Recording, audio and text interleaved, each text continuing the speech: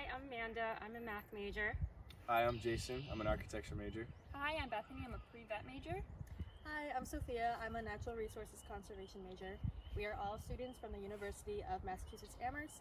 We just wrapped up our day volunteering at Alderbrook Meadows Trail. And even though we didn't see any beavers, we did the tree cutting and much more. So let's take a look. As we begin this volunteer event, we acknowledge the original inhabitants of this area, the Nipmuc, Abenaki, Pocumtuck, Mohican, Wampanoag, and Narragansett tribes. We take this opportunity to honor and celebrate these ancestral lands and the past, present, and future Native American inhabitants that reside here.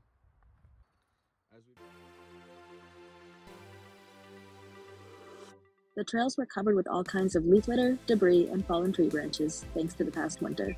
It was a bit difficult to navigate through the trail until we came along. After just a few hours, this is what the trails looked like, making it accessible to all once again. We all worked hard together to help level any spots on the trail that had been washed away by rain and snow. Working together really shows the importance and need for sustainable leadership, and we hope to inspire others. This is Japanese barberry.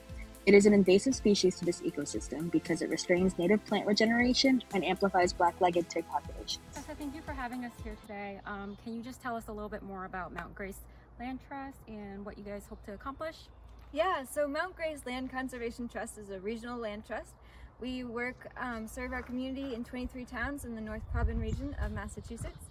And we protect land in two ways. We work on conservation restrictions where the landowner owns the land but has given up their rights to develop it. And then we own land directly like this conservation area here, Alderbrook. Thank you, May, for having us. Can you tell us a little bit more about Alderbrook's Meadow? Yeah, sure. So Alderbrook uh, Meadow is a conservation area, so it means it's a fee-owned property that we take care of.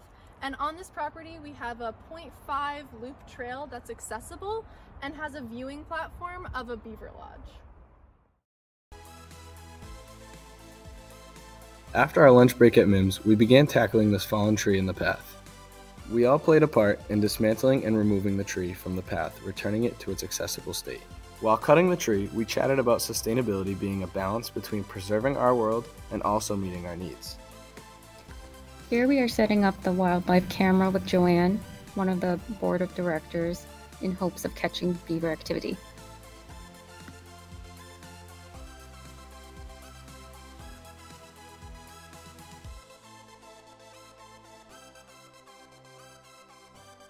Volunteering here has been such a rewarding experience. It is amazing to see how much can be done amongst a small group of people within a day. From clearing the trails to removing invasive species, a lot goes into maintaining the land we use.